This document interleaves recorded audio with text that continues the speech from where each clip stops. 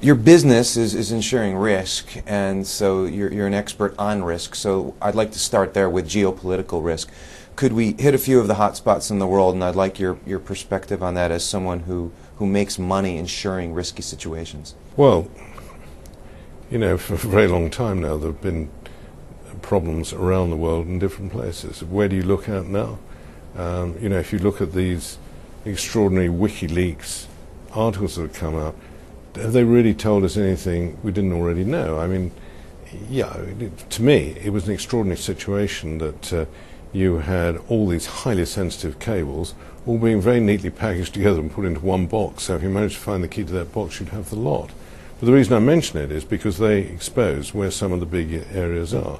Um, the biggest one, the one that seems to be getting the, the most attention, is unsurprisingly uh, Iran and what happened there. And there you can read that uh, virtually every Arab leader was begging the United States and virtually by implication the Israelis to go in and sort this, this guy out.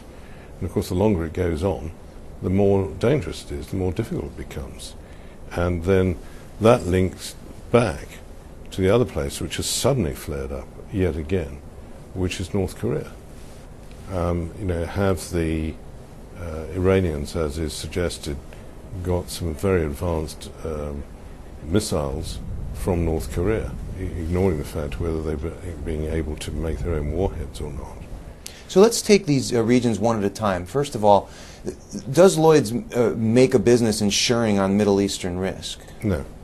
Okay, so you're uh, unless it just happened to be tangentially involved in mm -hmm. something, but that, that's not what we're looking at. But you do have a large and growing business in Asia.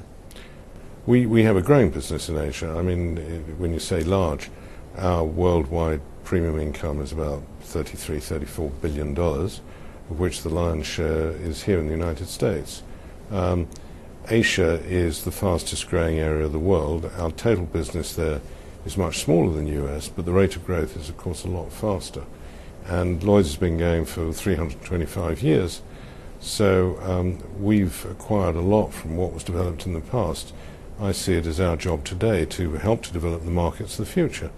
And as China is already the second largest economy in the world, and in due course is almost certain to become the largest economy in the world, then it's our job to ensure that that becomes a big market for us. Um, and we're very involved there now in financial terms, it's very small.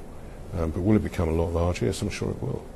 So, how big a concern is what's going on in Korea? In other words, is this a an event that happens all, all, the time where some country misbehaves and then falls into line, or do we have on our hands a, a potential global crisis or, or super regional crisis? Well, I think anybody who makes predictions of that nature usually falls flat on their face. Um, the simple reason is I don't know. Uh, we've had problems in the past with North Korea, and they've flared up, then they've gone away again. This one, it seems quite difficult to understand what has triggered it off. And then you read again in WikiLeaks that there was a view that China was ready to see uh, Korea reunified with the government coming from the south in Seoul.